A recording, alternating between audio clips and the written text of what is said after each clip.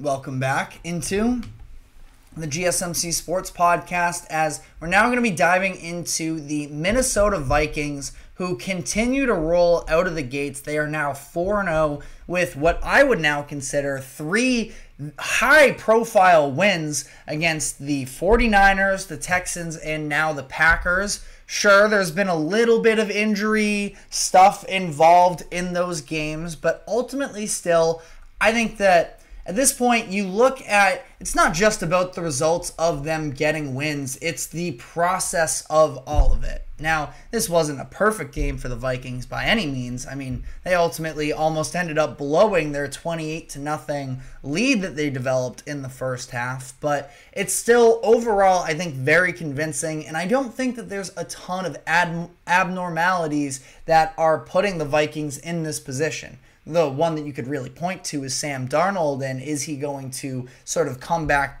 down to what our preseason expectations were, which is a fair question that I myself definitely still have to some degree. But overall, this is a very good, talented Vikings team that is extremely well coached. That Darnold, it's not like he has to be, you know, some people want to throw him like MVP, dark horse candidacy.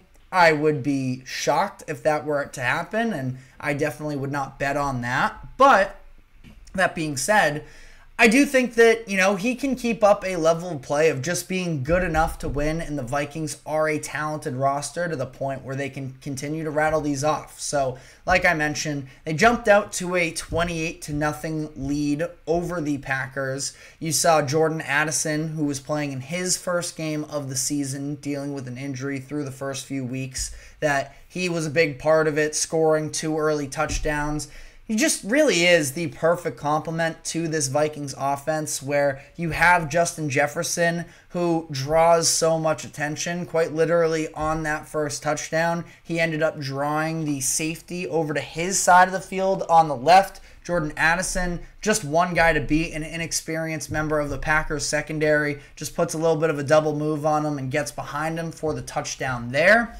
And then you get the ball in his hands and he just has that explosive ability as well, which is what happened for the jet sweep, where it was Justin Jefferson also making an excellent block on that play. But really, it was just Addison 1v1 against the linebacker, and he, he shook him and got to the end zone. And that's what he's capable of doing. And again, when you talk about you know, just sort of getting some of these playmakers back. Jordan Addison, TJ Hockenson as well, who started the year on the physically unable to perform list. He is now able to be back at practice this week. So he'll be another layer to add into this offense. And so you have, you know, the Star and Justin Jefferson, but you have layers to this team. And then that sort of leads me into the other big takeaway that I've had from the Vikings up to this point in the season is now they actually have a running game. Aaron Jones has been an incredible addition for this offense. Last season, the Vikings were 29th in the NFL in rush yards per game with 91.4. This year, they're up to 14th at 123 rush yards per game, which isn't necessarily an elite mark for the Vikings, but it's drastically improved. The offensive line is actually winning their one on ones up front as well. And Aaron Jones, yeah, I mean, he's got that fire to him. Clearly, if you couldn't see it this past week against his former team, in the Packers, he just seems so ready to sort of prove himself that I think it's been, you know, sort of one of the more underrated additions in the NFL from this past offseason is it is instantly paying dividends for the Vikings adding a hard-nosed running back like Aaron Jones to the mix. Because as much as Sam Darnold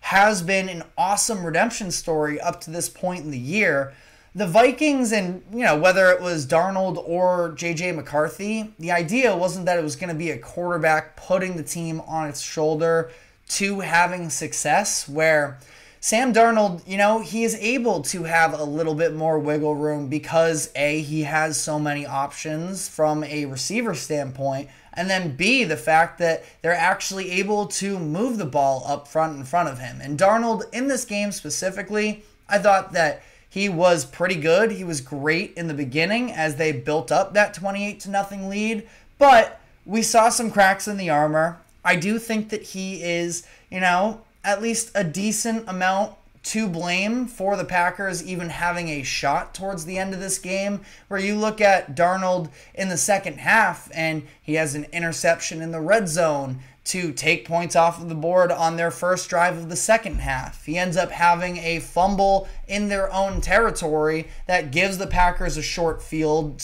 and they're able to score a touchdown, you know, immediately in the red zone. That made it a one score game with 10 minutes left. So, a couple costly turnovers for Darnold. Ultimately, there was enough good that came from him as well.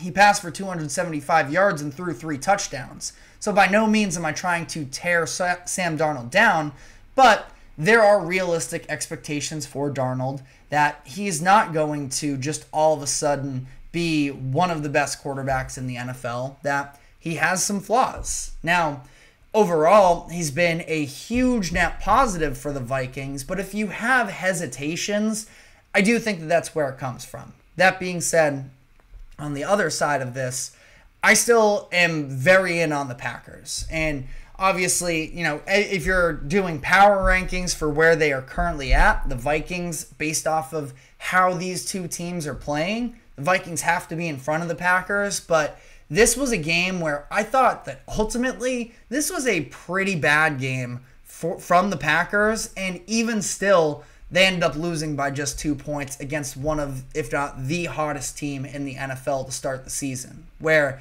it was Jordan Love's first game back from injury, and it did sort of look that way just with some of the inconsistencies. He ended up throwing three interceptions. He just didn't look right throughout the game. I thought his touch on the ball was a little bit erratic. Was throwing low a little bit to start the game. Then he ended up hit it throwing too high. I think it was to Luke Musgrave or Tucker Kraft. I get those tight ends confused sometimes, but you know, airmailed the tight end for one of his interceptions as well.